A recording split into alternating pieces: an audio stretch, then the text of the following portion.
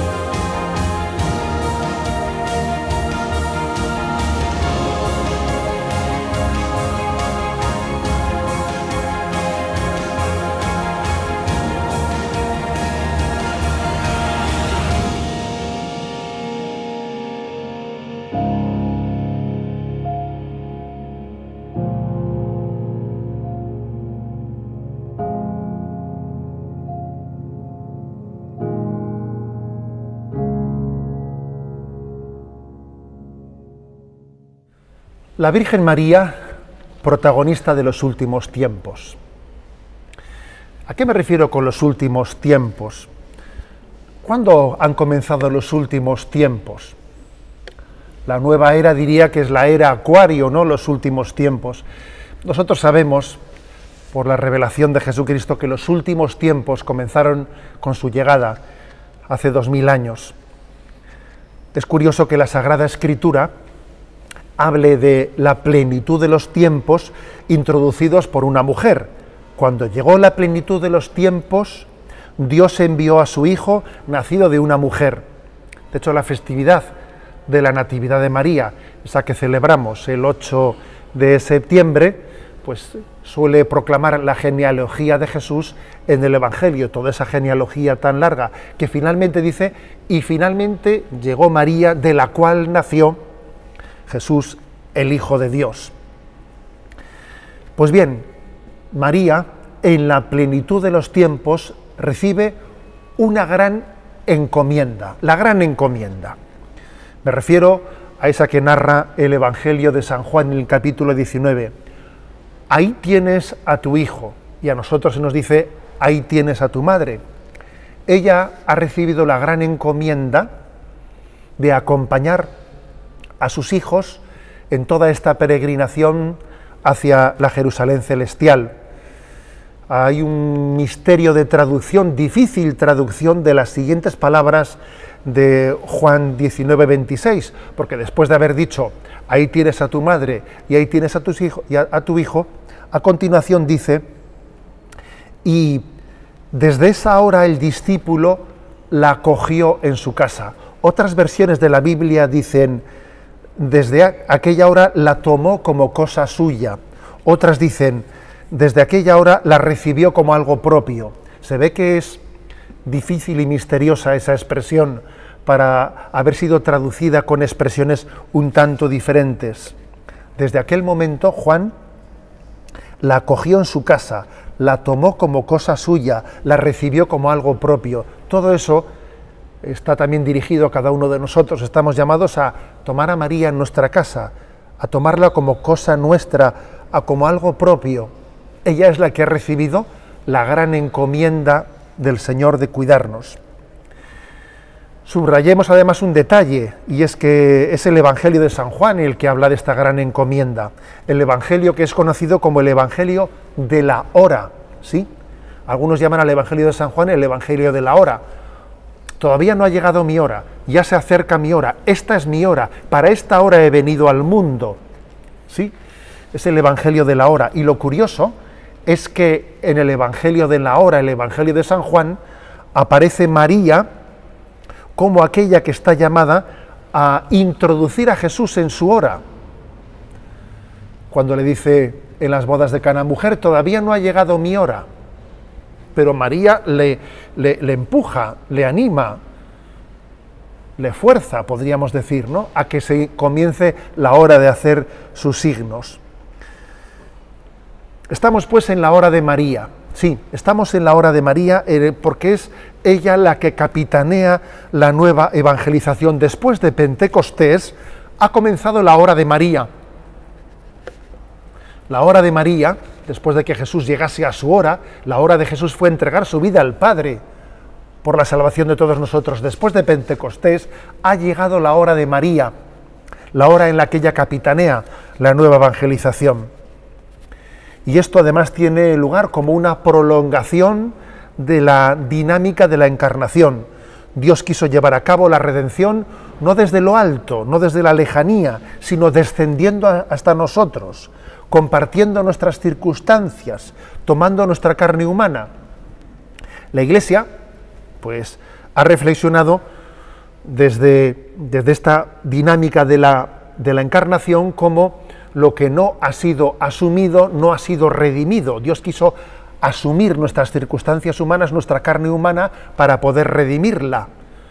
Es el estilo de Dios de hacer las cosas, de la encarnación, de acercarse hasta nosotros. Pues ese mismo estilo es el que María ha prolongado después de Pentecostés cuando María tiene tantas advocaciones en todas las culturas y se hace mestiza con los indios y se hace negra con los africanos y se hace oriental con los chinos, en el fondo María está haciendo lo mismo que hizo Dios en la encarnación, acercarse a nosotros, hablar, hablar nuestro propio lenguaje.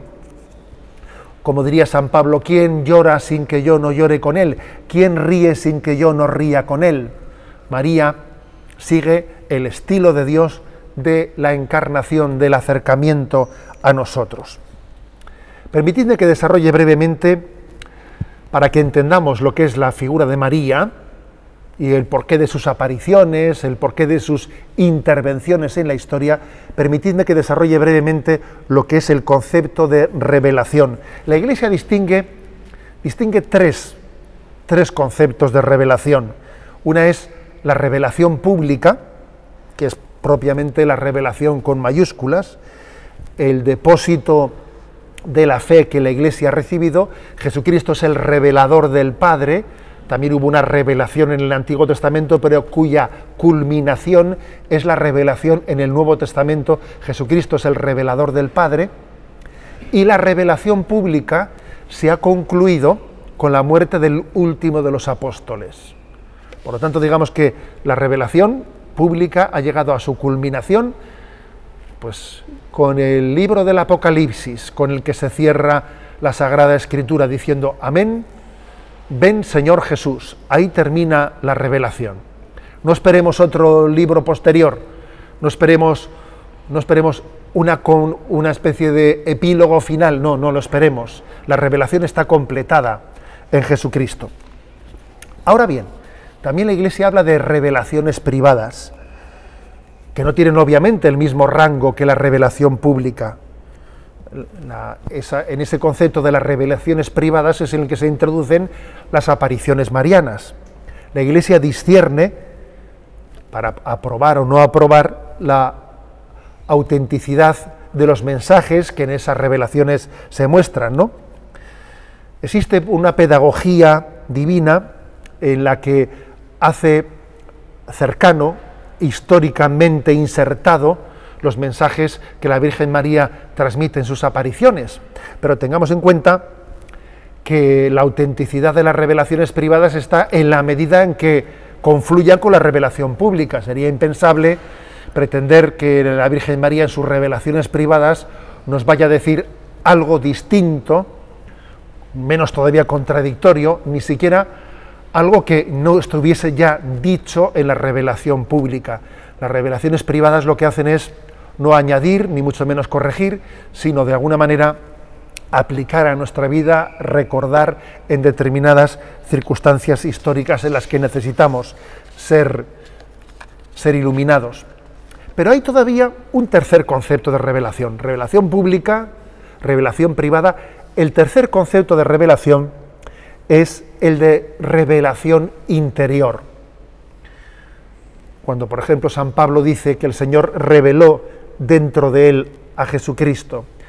Y este don de la revelación interior, de descubrirnos interiormente, que es lo que el San Ignacio de Loyola dice básicamente el conocimiento interno del amor de Cristo, esa revelación interior, no solo conocer en unos conceptos racionales, sino tener la luz interior de conocer el amor de Dios, ese es un don que le ha sido otorgado especialmente a María.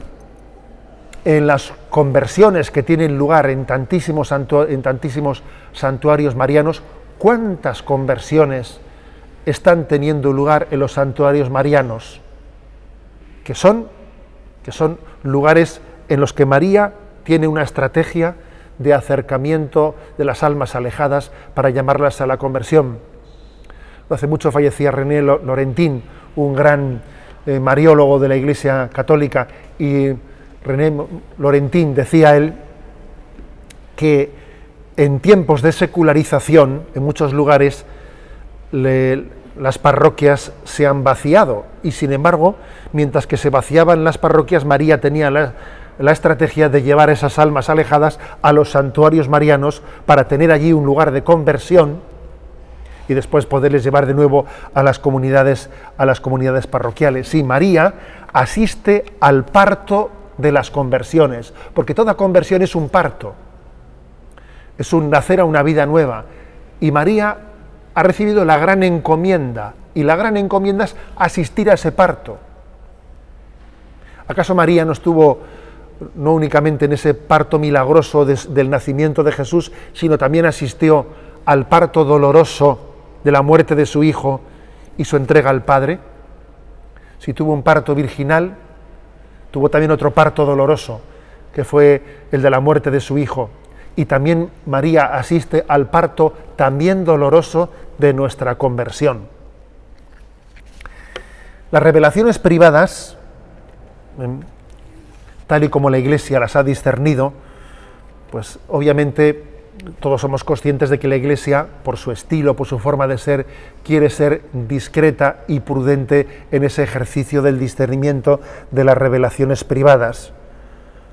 Es cierto que tenemos mucha más noticia de los últimos siglos que de los primeros siglos. Eh, de los primeros siglos, del primer milenio, eh, de la vida de la Iglesia tenemos poco conocimiento de posibles revelaciones privadas que hubiesen acontecido. Fue en el año 1512 cuando en el quinto concilio de Letrán se discernió que fuese el Papa el que realizase el discernimiento de la autenticidad de, unas apariciones, o más bien habría que decir de la autenticidad de los mensajes que se ofrecen en unas apariciones.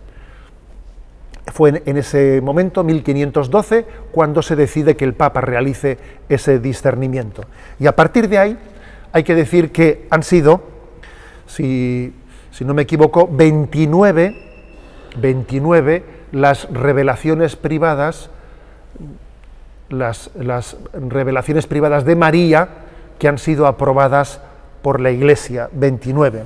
La primera de ellas en el momento, según su acontecimiento cronológico, fue la de la Virgen del Pilar, en el siglo I, estando todavía María en carne mortal en esta vida, cuando eh, quiso, acudió en socorro de Santiago, del apóstol Santiago, que iba a evangelizar al fin de la tierra y en Zaragoza, tuvo esa aparición de consolación al apóstol Santiago que se sentía cansado en esa en, esa encomienda, en esa tarea de la evangelización en aquellas tierras duras. Eso fue en el siglo I. Pero después damos un grandísimo salto, un grandísimo salto hasta el siglo XIII, con Santo Domingo de Guzmán, San Simón Stock, con la Virgen del Carmen, la Virgen del Rosario, por lo tanto, y San Simón Stock en ese siglo. damos el salto hasta 1531 con la Guadalupana, 1830 con la Milagrosa, 1846 con la Salet, 1858 con Lourdes, y fijaros bien, 15 de las 29 revelaciones privadas de la Virgen María son del siglo XX, más de la mitad de las revelaciones privadas eh, aprobadas por la Iglesia son del siglo XX, lo cual, lo cual da a entender que esa encomienda que el Señor hizo a María, está alcanzando su cenit en los últimos momentos. Es verdad que en los últimos momentos comenzaron hace dos mil años, pero es curioso que más de la mitad de esas revelaciones privadas hayan sido reconocidas en el siglo XX. Parece que esa intervención de María está siendo especialmente activa en este momento de la historia. La Iglesia es como una nave, como una nave, que tiene por mástil la cruz, que tiene por velamen la confianza en Dios que tiene por viento impulsor al Espíritu Santo, que tiene por capitana a la Virgen María y que tiene por timonel al Papa. Por eso ella en este momento creo que está realizando especialmente esa función de evangelización. ¿Qué tipo de acciones realiza María?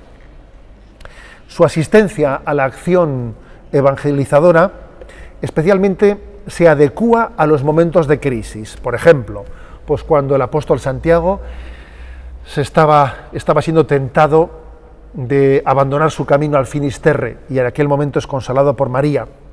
Cuando, por ejemplo, en Guadalupe existe el riesgo de que la nueva fe no cuajase, no cuajase la evangelización en su transmisión a los indígenas, porque los indígenas veían a aquellos conquistadores, les veían con una distancia y una dificultad de confianza en ellos muy notoria, muy grande, ¿no?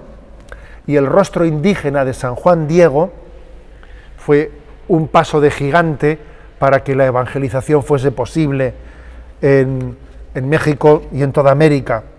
En Lourdes también la intervención de nuestra madre eh, quería responder a la dificultad que el racionalismo en la Revolución Francesa había, sembrado. El racionalismo había hecho un rechazo de la, de la revelación y había dicho que sólo la diosa razón era la que debía de guiar al hombre moderno. Acordémonos de que Notre Dame, la imagen de Nuestra Señora de Notre Dame en París fue sustituida por la diosa razón. Pues en Lourdes también María interviene enseñando que solo los pequeños, solo aquellos que tengan corazón humilde de niño, serían capaces de, conocer, de conocer el don de Dios. Y más tarde en Fátima, María también vuelve a intervenir en otro momento de crisis, en el momento en el que el marxismo, el comunismo comienza su revolución. Si se fijan ustedes, las intervenciones de María tienen lugar, coinciden con grandes momentos de crisis en la evangelización. María nos asiste de una forma especial ante el escándalo de la cruz. Sí, también esa es una clave suya. Es una clave. ¿Hay alguien entre ustedes que no, que no tenga marcada su vida por la cruz? Me parece que no ha levantado ninguno la mano, me parece que no. ¿eh? Todos tenemos también en nuestra vida eh, la, marca de la cruz, sin duda alguna. Y Jesús actúa ante la cruz de dos maneras. Jesús realizó milagros, sanó enfermos, incluso resucitó a algunos muertos, hizo el signo el signo de los milagros como una pregustación de lo que es la vida eterna, pero tengámoslo claro, la mayoría de los enfermos en tiempos de Jesús se quedaron sin sanar y la mayoría de los muertos pues no resucitaron. Incluso los que Jesús sanó, al cabo de unos años volverían a morir. Lázaro, que fue resucitado, moriría más tarde. Y no estuvo Jesús en el segundo momento para preservarle de la muerte. Con lo cual Jesús no solo vino aquí para liberarnos del sufrimiento, sino Jesús vino para vencer el, vencer el mal a través de un gran milagro, el milagro de que el sufrimiento que era consecuencia del pecado se, fuese integrado como un instrumento de salvación. El gran milagro de Jesucristo es que el sufrimiento que viene como consecuencia del pecado se convierta en instrumento de Dios para vencer al pecado. Y eso que hizo Jesucristo es lo que hace María. María está continuamente atendiendo a las súplicas de tantas personas que sufren y recurren a María y recurren a María. En los momentos uno ve las ermitas, las velas, cada una de las velas muchas veces tienen un sufrimiento detrás de ellas. María atiende esas súplicas, a muchísimas de ellas está aliviando sus sufrimientos, pero al mismo tiempo, no lo olvidemos, al mismo tiempo, está ayudándonos a abrazar la cruz. Sí, María nos está enseñando que nuestras cruces son también instrumento de santificación y tenemos que aprender a abrazarlas en la fe, en la fe y en la confianza. Ha venido, María ha venido también, yo creo que con una finalidad muy concreta, y lo digo especialmente a la generación presente, que tiene una gran herida de falta de autoestima. Nuestra generación se caracteriza por arrastrar una gran herida afectiva, la falta de autoestima. Ella ha venido para que nos sepamos amados de Dios. ¿Saben ustedes qué significa, cuál es la etimología del nombre de María? No es fácil esa etimología, porque la primera vez que aparece el nombre de María aparece cuando el pueblo de Israel estaba desterrado en Egipto, con lo cual el origen de la palabra María puede tener una mezcla eh, egipcia y hebrea, pero según eh, los entendidos, la etimología más posible de ese nombre tan bello de María significa amada de Yahvé. María ha venido para que en esa herida nuestra de nuestra falta de autoestima, en ese no querernos a nosotros mismos, en ese no aceptarnos con nuestras limitaciones, descubramos que antes que nada somos queridos de Dios. Y si Dios nos ama no tenemos derecho a despreciarnos a nosotros mismos. No tenemos derecho a, tener esa especie de complejo de orfandad espiritual. No somos huérfanos. No tenemos derecho a tener eh, ese complejo de huérfano, no, porque Dios es nuestro Padre y porque María ha venido a recordárnoslo. Y finalmente María ha venido para pisar la cabeza de Satanás. ¿sí? Tiene ese cometido. A veces la historia, en la historia el mal se refleja con, eh, de una manera especialmente fuerte. A veces parece que el mal es indisimulado. Es como si al demonio a veces también se le pasase la rosca. Se le pasase la rosca y diciendo, parece que al demonio se le ha pasado la rosca y no se da cuenta de que hasta cuando ve el mal, algunas personas se asustan, ¿no? Y dicen, no deberíamos De, reaccionar. A veces hay personas que creen antes en el demonio que en Dios, porque ven el mal de una manera tan patente que desde el mal se hacen la pregunta, ¿Hay una respuesta frente a este mal? Pues sí que la hay, sí que la hay. Dios tiene una providencia para aplastar la cabeza de esa serpiente, que es, que es la pureza inmaculada de María, la única capaz de arrastrar esa serpiente. Me van a permitir que concluya contándoles una, una anécdota de mi, de mi vida, ¿eh? que creo que, que es iluminadora.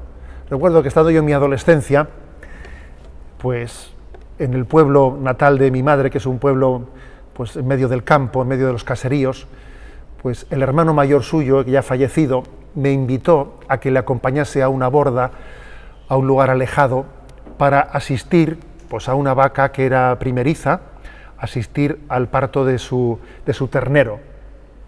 Acudimos allí y el parto fue difícil. No, no ocurre eso así con mucha frecuencia en la naturaleza, pero el parto fue difícil y aquel ternero, cuando nació, no era reconocido por su madre. La madre no reconocía al ternero, no se acercaba a darle de mamar, no se acercaba a, limpiarle, lo ignoraba. Y recuerdo que mi tío me dijo, pues, pues este ternero se va a morir aquí porque no tenemos a dónde llevarle y si la madre no le atiende no, no va a poder sobrevivir y me dijo, espera un momento, quédate aquí dentro de esta borda y, fue a un caserío vecino y trajo un perro atado por una cadena, un perro verdaderamente un perro furioso, un perro de esos que, le asustaba a un jovencito, como era yo entonces, cuyos ladridos casi me, me acongojaban. Atado por una cadena, lo introdujo dentro de aquella borda donde estaba el ternero recién nacido, que no podía levantarse todavía, lo ató a un poste y el perro se lanzaba contra eh, aquel ternero, parecía no llegaba por, por, motivo de la cadena, se lanzaba y se lanzaba, parecía que quería devorarlo. La vaca, la madre de aquel ternero, estaba nerviosísima y se, en primer momento huyó, huyó, pero cuando escuchaba los ladridos retornó, retornó y nerviosa no sabía qué hacer y, y de repente empezó a cometer aquella vaca con sus cuernos, empezó a cometerle al perro, lo levantó hacia, hacia, hacia lo alto y acto seguido se acercó a su ternero y empezó a lamerle y a darle de mamar. Yo me quedé impresionado, ¿no? De cómo aquel perro había sido capaz de suscitar el instinto de maternidad de aquella vaca que no reconocía a su ternero. Me quedé impresionado.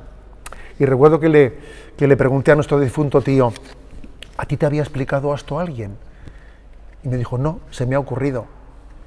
Y esa anécdota, les puedo asegurar a ustedes que la he recordado muchas veces en la vida, porque he visto que, que a veces el mal, el mal, eh, puede ser un lugar en el que Dios manifiesta su providencia. A veces, hasta que no vemos el rostro del mal, no reaccionamos contra él. Y María también es la que aplasta la cabeza de Satanás y la que asiste a aquellas personas que están especialmente acongojadas por el mal y reciben como una ayuda materna para reaccionar en ese momento de la vida, ¿no?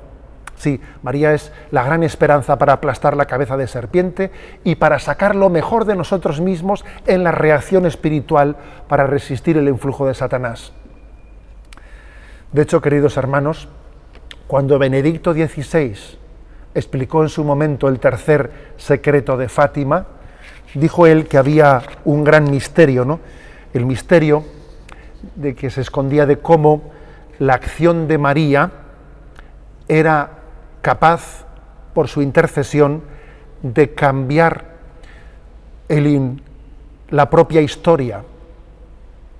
Aquel aquel hombre vestido, aquel obispo vestido de blanco que caía por las balas, que finalmente, sin embargo, aunque la profecía decía que había muerto, sin embargo, nosotros vimos en San Juan Pablo II que milagrosamente salvó su vida, decía Benedicto XVI, que aquello simbolizaba cómo también la intercesión de María y nuestra oración y nuestra penitencia unida, unida a la oración de María era capaz de cambiar la historia dame un punto de apoyo y moveré el mundo.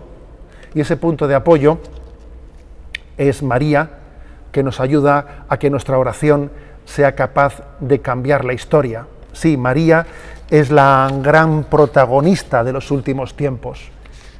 Y es la gran protagonista de tu vida y de la mía. María está acompañándonos porque recibió la gran encomienda de cuidar de nuestra vida espiritual y todavía ese ese empeño, esa encomienda que ha hecho, todavía está sin concluir hasta el momento de la hora de nuestra muerte. ¿Cuántas veces le hemos dicho, ruega por nosotros ahora y en la hora de nuestra muerte? Hasta allí llegará su encomienda.